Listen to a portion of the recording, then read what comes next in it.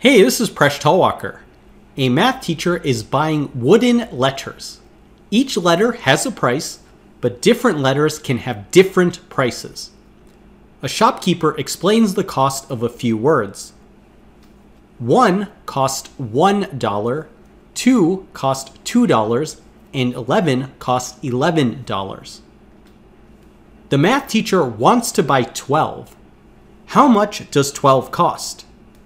Can you figure it out? Give this problem a try, and when you're ready, keep watching the video for the solution.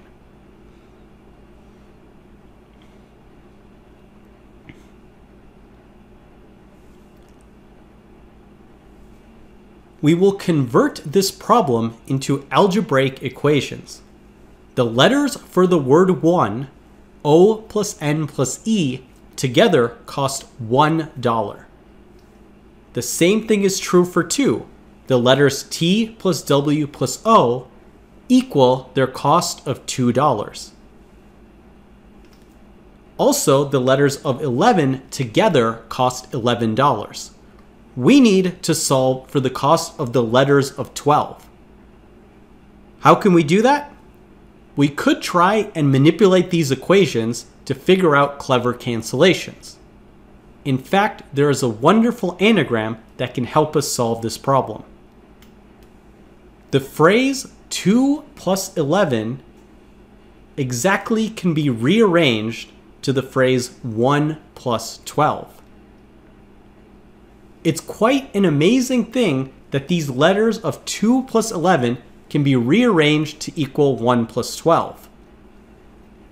This kind of anagram is very interesting and it'll help us solve this problem. What's further special about this is the phrase 1 plus 12 and 2 plus 11 both have 13 letters and the answer to each phrase is 13. You could even have the anagram of the numerals 2 plus 1 1 and 1 plus 1 2 to be an anagram of numerals.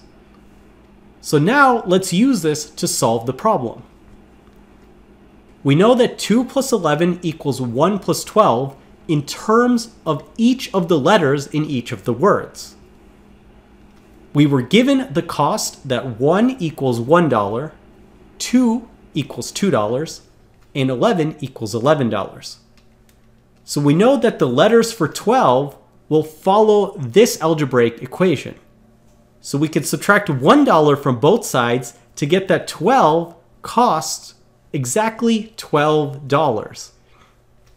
So that's the answer. 12 costs $12, and it is the world's easiest problem because you might have been able to guess it without even going through all the algebra. Did you figure it out? Thanks for watching this video. Please subscribe to my channel. I make videos on math and game theory.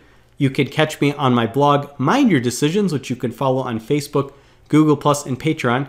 You can catch me on social media at Presh Talwalkar. And if you like this video, please check out my books. There are links in the video description.